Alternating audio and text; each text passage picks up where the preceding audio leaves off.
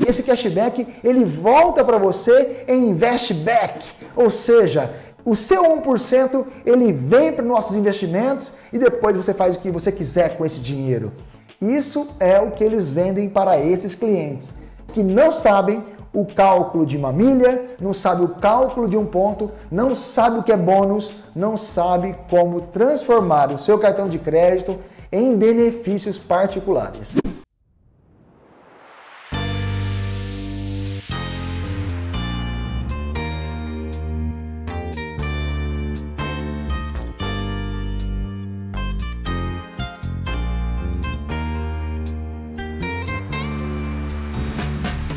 E por que que os bancos agora tá com essa onda toda de milhas e pontos, sendo que agora a onda do momento é cashback, né?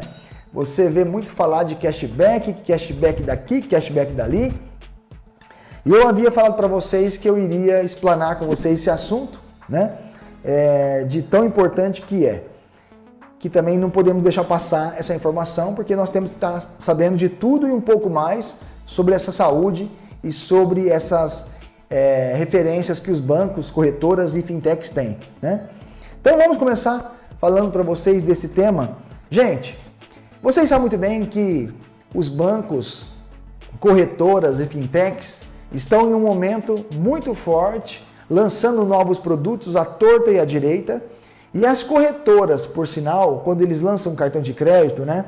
Inclusive corretoras estão virando banco também porque somente ser corretora não estava dando mais certo, então eles estão indo por um outro caminho que é ser banco digital. Né?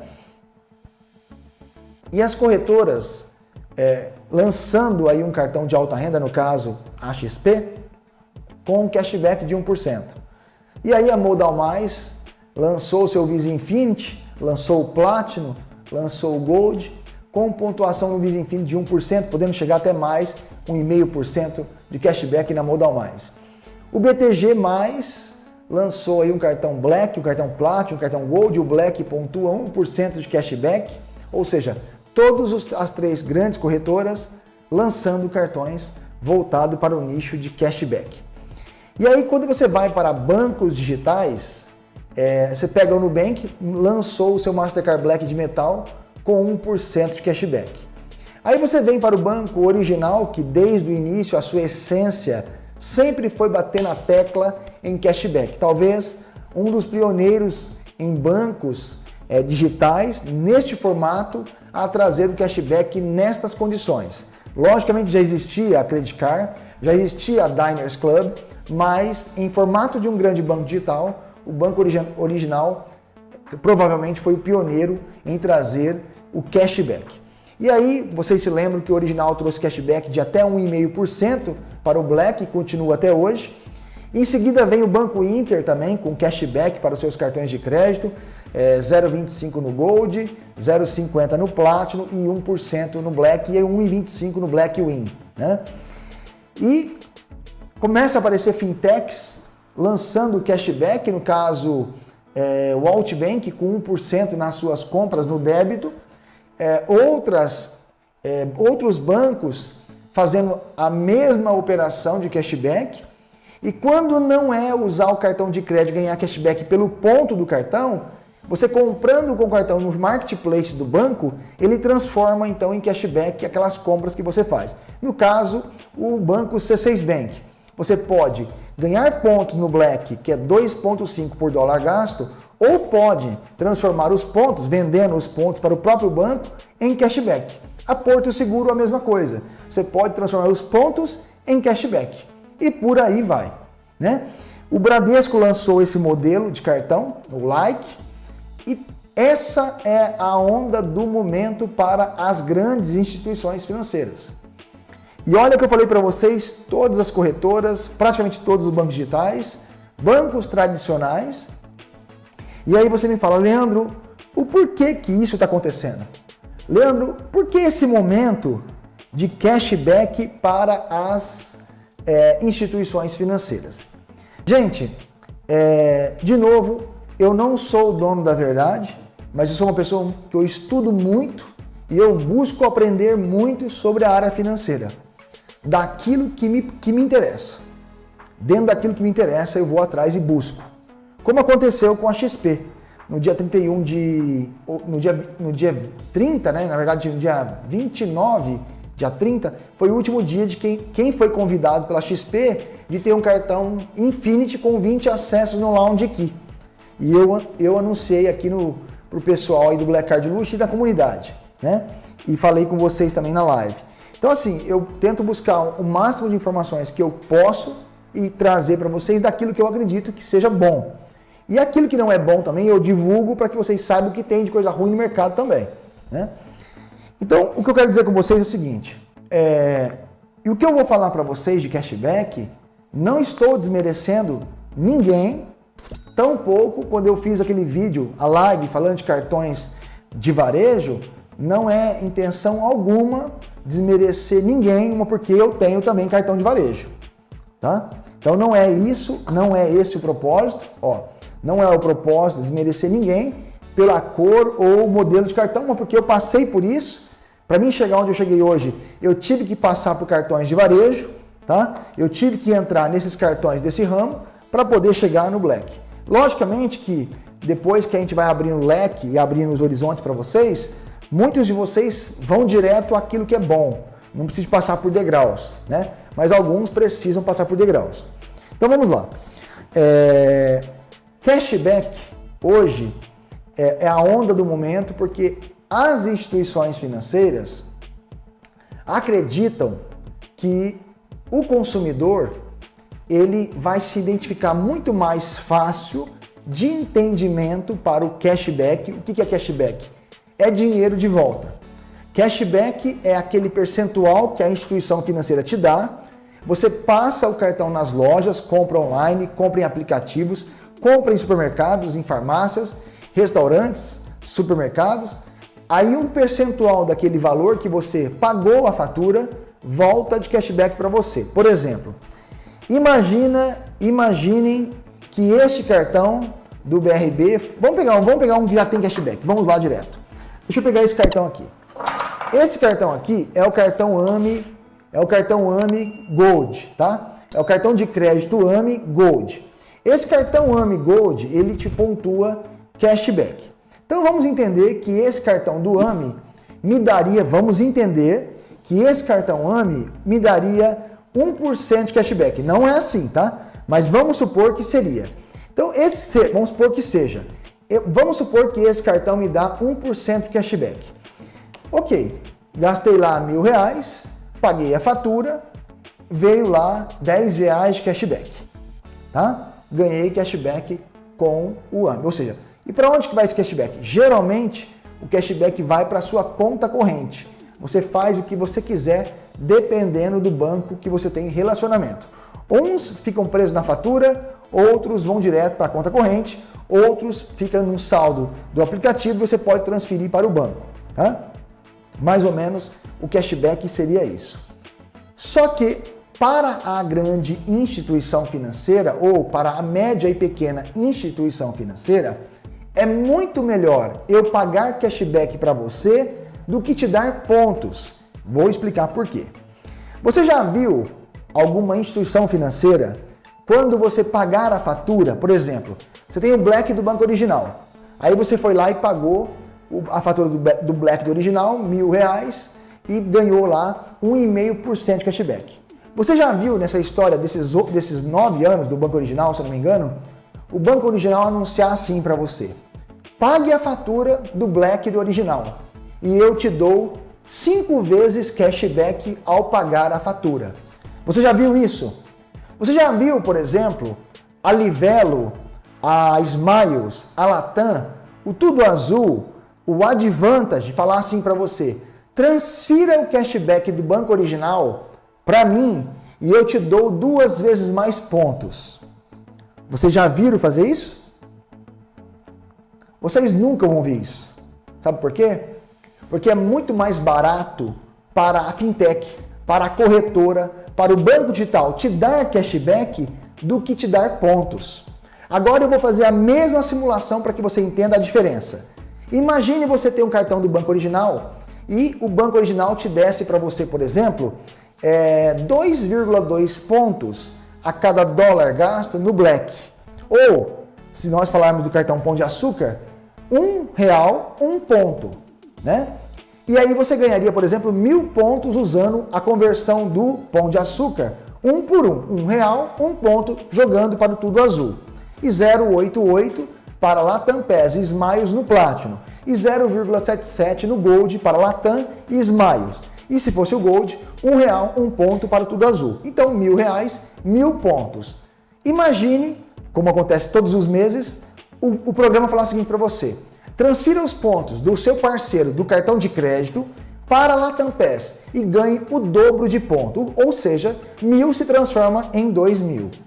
Imagine a Azul falar assim para você: transfira os pontos do seu cartão de crédito para Azul e ganhe 120% de pontos Azul. E por aí vai. Milhas, pontos, eu posso decidir para onde eu levo eles, dependendo do cartão que você tem. Cashback, você não tem essa opção. Ou você recebe os 10 reais, ou 20, ou 30, ou 1%, 1,5% de cashback, ou você vai deixar para o banco. Né? Então você tem que receber o cashback porque é um dinheiro que volta para você baseado nas suas compras. Pontos e milhas, ele volta para você e você decide o que fazer com ele.